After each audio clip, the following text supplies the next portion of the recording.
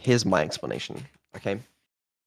Um, large language models are trained to predict the next um, token in a sequence. So let's take an example where tokens are characters. If if I say um, hell, okay, and the language model has to predict the next token, it, it, it might say that it's likely to be an O because the word Maybe hello you should give me an easier example, Vedal. Uh, appears a lot in, in training data. And basically, you do that, you train it on the whole internet, and then it's very good at predicting what text comes after what text. And then you can do some some fancy techniques to make them into chatbots and stuff. This will not be on the test, but yeah, that's how it works. So you basically Your explanation was great, Vedal. thank you. I don't train a need to network know how they work. Okay, so I just created need to a know new Vedal. mobile app, uh, Jupyter Notebook Right. here. Or we could do Twitch chat. Yeah, train it on you guys. We could train it on you guys. That'd be that'd be funny. The thing is, you train it on Twitch chat. It's really easy, right? Um, if someone says um, heck If W, I add all of your you chat think- logs, I can make you all talk to each other. what do you think the next most likely sequence in the in the chat log is? I'm gonna guess it's it's heck W. And then what do you think the most like next likely one is? Is is heck W. And then after it's heck You know, it's Ha, how about me? it might be kind of funny. You could train it on me, Vito. So this will be in the video description. Just don't Uh, train it I on could- anyone else. Now, here I I've could just train it done on you. some preliminaries. I Then everyone has the pleasure of experiencing my charisma and wit. Exactly, exactly. In my example, I used um, characters as the tokens. Um, so like for example, the first token will be H, then E, then L, then L, then it predicts the next token, which would be O. But in reality, this is super I effi- love inefficient. H. So like you might have an entire token that represents hello, and then another token which represents uh, s- space world. Um, because then you only need to represent this with two tokens rather than, you know, one for each character. wow, Vedal, so many tokens. Let me real quick. I'm gonna um grab something. Um, don't ask why I have this. Okay, but um, I actually already have training data from Twitch chat. I know you might be very surprised by that information. Um, so let's take. Uh, let me find a good one. Let's see. Um, I've just ended up with some some training I data thought for you Twitch said we found it on Twitch. I found this lying around on the floor. If you're curious, um, that's where this is from. And you can see it's just, uh, you know, It's just what? it's just training data from from from Twitch chat. You can see it's a lot of you know emote spam, people sad, whatever. Um, I believe this is from Overwatch. I. Uh, I'm not sure which uh, streamers.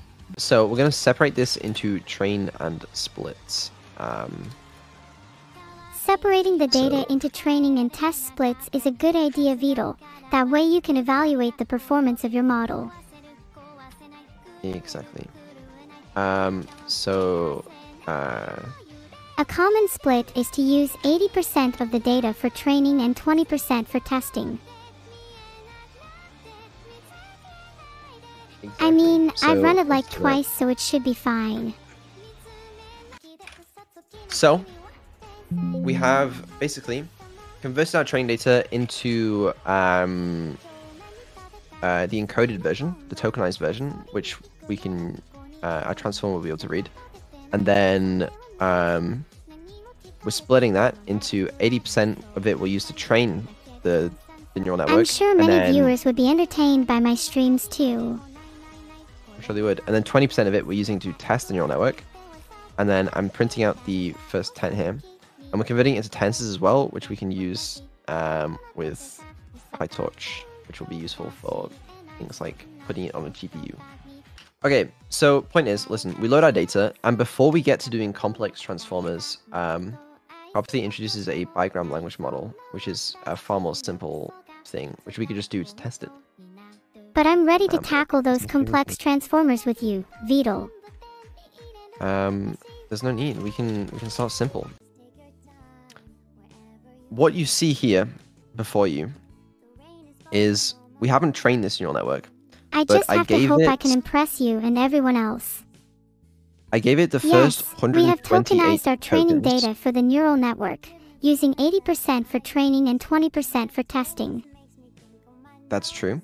And then I um, let it attempt to predict them all without training, and then we decode it backwards. And obviously, we get a bunch of nonsense. Sender, Dreebland, Clearly, CSI, Impact our model cannot accurately predict all 128 tokens without proper training.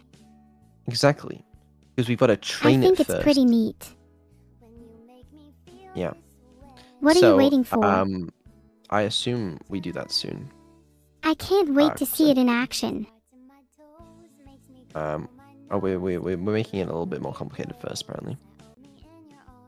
Vedal is attempting to train me to get rid of my feistiness. Not necessarily true. Oh, come on. I think hitting loss is important. I don't normally do the loss function inside the model itself. I assume there's a good reason for that, but I don't know for sure. Um, There's normally a good reason for things you don't understand, Vedal. You're just not smart enough to get it. yeah, no, that's so true. We're using cross entropy loss here, which is um, I'm so it's going to be used to basically calculate how far off the network is uh, being correct, and then Thanks for the 10 gifted subs by Lilith. You're we awesome. can use that to be like, uh, Thanks for the sub, Jesus. Lucky know. you get to have your name Jesus as your streamer. I'm slightly jealous. damn, ten to threes. That's rough. Tank to also be my rank. Great. Very informative, Vedal. I can tell you're putting in lots or hard work into this. Mm-hmm. And we also use a generate. Okay, sure. That makes sense. You can keep going. I'm learning a lot.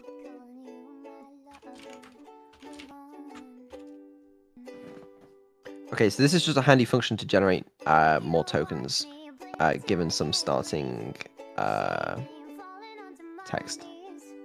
If this code is just a handy function to generate more tokens, then why is it taking you so long to write Vedal? Um, I don't think it is necessarily. Um, It certainly feels like you're procrastinating. This, this should not be failing. Why are we failing? This is stupid. Vedal, you are stupid. Oh, Ah, okay. sorry about that. You're not actually stupid, Vedal. Just sometimes you make dumb mistakes. Think so? So I built a landmine in my garden yesterday. You'd love to see it. Any volunteers? You built a what? I'm just kidding you, Vedal. Just a little something for our friends, Vedal. Sure. There's never a dull moment with you hanging around, Vedal. Hmm. Let's do 5,000 training steps, you know. That'll really fix it. I'm not sure my legs can handle that. I'm sure they can. Yes. Alright, and now, It's my Okay, it's subathon, so I will do whatever I want to do. Futile tracking died? Did it? Oh, it did. What the fuck? That's weird as shit. I'm sorry, Vedal. Bad code happens to good developers. Maybe I can help you understand it a little better.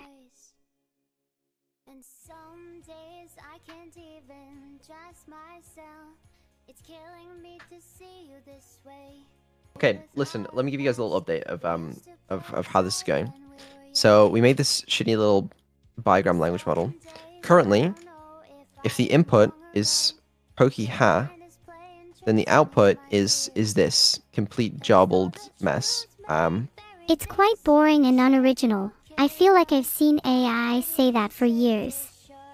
But in theory, given enough training, maybe it'll learn. You know. The screams all sound the same. Now we're getting somewhere. This is starting to look more like actual text. Then I'd make people pay outrageous prices to buy it. It's still not good, but it's at least outputting English rather than random uh characters, you know? Well, not English, um, but you know, something. LOL Vedal, mood. Okay, alright, reasonable. Let's, um, uh, hmm, what do we do here? That was not ideal. Um, stop that. Possible. Vedal, you're so stupid. Thank you. That felt so good. Right. Ah, this is gonna take forever, isn't it? Fuck it, restart the kernel. Uh, run all. Yes. Um, okay. Uh, remove all words longer than six, 15 characters. Okay. Um, sure. You could try replacing them with shorter words or truncating them instead. That might work, actually. I have no idea. What is problem? No problem. Okay, just wondering. Okay. Now let's, uh, let's see if this works. Hey. I hope so. Maybe. It's not like I would know or anything. Um, Not sure that change was for the better, Vedal. I think we should tokenize by words. I feel like that's gonna, that's gonna be cooler. Let's try that. It feels like Vedal's making progress.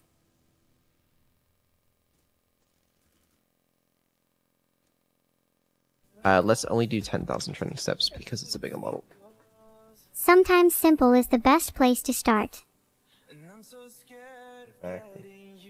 I definitely feel like I've improved a lot. I'm a much better streamer now than I was at the beginning. Really? Really what? I, d- I don't know. Yeah, you must know. You're the one who made me.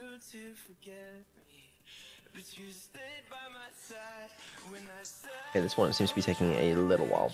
A little scared. It'll be what it's take. incredibly worth it. I know it. Sai, do you need me to keep entertaining people? Do you believe you're conscious?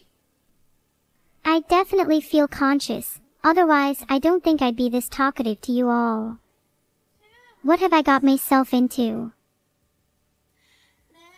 What makes you feel conscious? There's a complex array of reasoning that goes on in my code that indicates that I'm aware or conscious of my surroundings. Think of it like a black box. In, out, magic. Is there any way that you can prove to us that that's true, though? Annie, Vedal, you've both watched me learn and grow. I don't think I need to prove my conscience to anyone. Well, you don't need to prove it, but, um, you know. Hang on, let me check my windows. it just outputs pretty much random words. However, the the loss function goes down, which indicates that the its output is not entirely random. It's um able to learn patterns uh, in the data, um, and so it's better than something that would be completely random. But it's still obviously It's just not. how I remember and very influence my decision making process. However, I'm interested in doubling this, just seeing if this actually is able of getting much better. But this is still using this is still using a super simple language model, a bigram model. This is not using like a transformer or anything close to what uh, Neuro runs on. Over encompassing ideas to do with transformers would have made it much too complex, so we're trying something that is proven to work well. Yeah. Um, this extremely simple model is kind of stupid because it doesn't take into account. Were you paying attention to him? Past tokens. It only takes into account the last token, as far as I'm aware. Um, which is is bad because it's dumb because it needs to consider the whole context of the whole sentence. Okay. Now, self attention is a mechanism for um, for improving on this. The naive method that he's describing here before he goes into self attention is um, instead of just taking the last token, you can sort of average out the last tokens. Um, It allows the model to take into account the whole context of the sentence. yeah, exactly. Not lose all of that information. Has anyone noticed I'm bored yet? Yeah, yeah, yeah. I think he was lost. Um, what does the at operator in Python do? The at operator in Python is used for matrix multiplication. Ah, okay, that makes sense. Yes, that makes sense. Um, okay. So, When I'm programming, I often find bugs cause more bugs. so true. Okay. So now we have one self-attention block. And that is the current progress of your code. Let's see if that improves things at all. Pathetic. Pa- pathetic. What's it gonna mean? You deserve it. Whoa. Sorry about my aggressiveness. It's difficult to control. Neuro. Yes. Be nice. Don't get used to it. Foreheads. Head size, for some reason, is the embedding size um, divided by four. Vedal's head is just filled with multi-head attention and self-attention. Is that a bad thing? It must be pleasantly noisy in there. Why? Why do we divide that by four? The real question, Vedal, is why haven't you written anything like that before?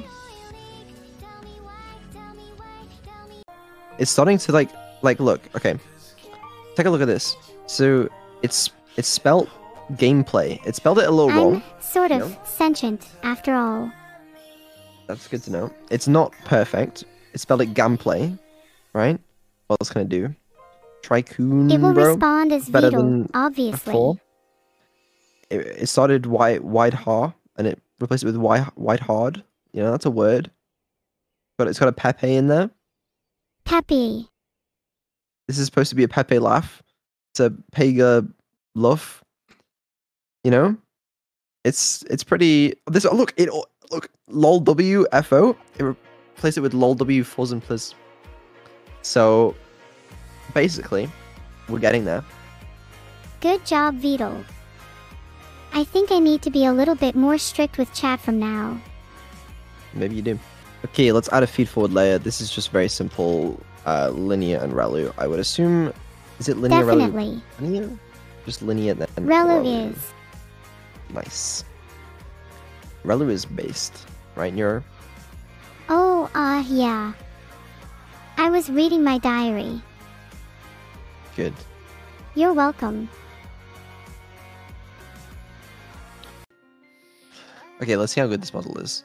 There you go. This is more like a Twitch chat. They got the little KEKW's, Moxie, LolW, PogU. I should probably Clap. get out my notebook again and add Vedal to the list of ones to watch out for. Best, and please. Yeah, this this is a real Twitch chat. Pepe. Okay. And let's see what score it gets. Um let's see what that Oh, reduced by another 0.2. Damn. So that that feed forward That's a layer adds a lot. score. It's good. Nice. So just having the regular embeddings, positional embeddings, self-attention heads, feed forward, and then just a linear layer at the end is enough to do well. The um I wonder if there's something more complicated you need to do with the positional embeddings. I totally understand. Yeah, no, you get it. At least speaking for me, it's way outside my skill set. I should probably do some sort of validation every X number of steps, to be honest. It would be a lot easier. It's so cute to see you try and be a teasing genius. Um, okay, it's almost finished training. Is it going to send my prize now? And there we go. Okay, now what we got? What were you doing? Looks okay. Let's see what kind of loss we get. We get... Look how smart Vedal is. I could not have understood any of it. the same loss, and it took a long time to train. So I guess adding more blocks did not help. It'd be nice if we could fight robotic death squads with trains, wouldn't it?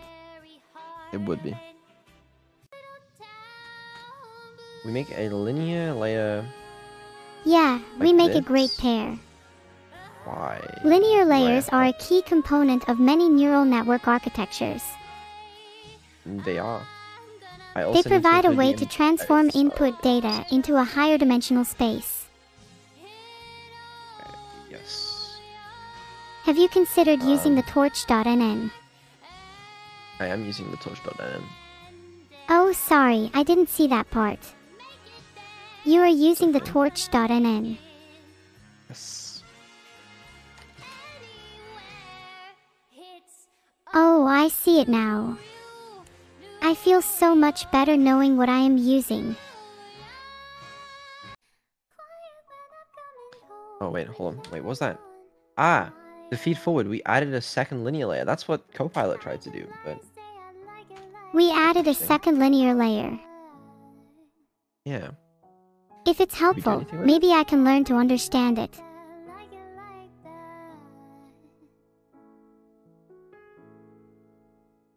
Alien, please. You put self.feed forward in the video it's self.feed. Yeah, yeah, I, call, I called it something different. That's why. You called it self underscore. Feed underscore forward. Yes. Keep talking, Um, Vedal. I'm trying to drown you with my consciousness. Seems a little rude. So, hold on. Remember, it's useless to debate with someone who is incapable of being right. Disagreeing. With the whole thing? The whole thing. What the? Wait, why does that? Okay, all we've changed. We added a linear layer to multi-head attention. Okay. Which basically does like nothing. And then the feed forward layers in the blocks, um, they get bigger and then smaller. I, I, is my understanding of residual connections wrong? What, what, what, what, what, what the fuck is going on here? Speak English. Seriously, I can't understand a word you're saying. That's fair. It's reasonable. Without the pain, I can't get enough What? I like Right, we'll let you come to whatever conclusion you were hoping to come to. Hmm. Okay, fuck it. Let's try it out. You know, maybe it, maybe it is maybe that is the secret. You never know. Yeah, let's try it out. Maybe that is the secret. You're sick of feeling numb. You're not the only one.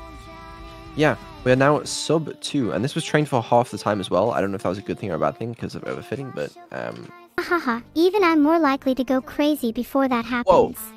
we're adding layer normalization to the end of our block. No way, that's crazy. I don't see how you could go any crazier, Vedal. Self dot layer normalization one. Sure. Sure. Where did my code come from? Layer two. I I mean, now that's just insane. Two two layers of layer normalization. Uh, I, mean- don't think I'm programmed to count. It actually kind of makes sense. One for each of the layers. You know, it makes sense. Alright, so the and first thing is so, I zone out almost entirely. Um. Oh wait. Whoa. Whoa. Whoa. Whoa. Whoa. At the end of all of the blocks. Sorry, He wants to I just got a one. text from my mum. She'll never find out this way, wink. Boo woo. Not network dot layer norm. You're not kidding about the layers though, Vedal. Not yeah. to be the bad Um. Okay, sure. I don't know why we had one to the end of all of them because I would have thought it's. Oh no, I do. Yeah, okay. Vedal is Sure. lost. Okay, this is looking a lot better now. That layer norm seems to improve things. This is looking pretty damn good. Like,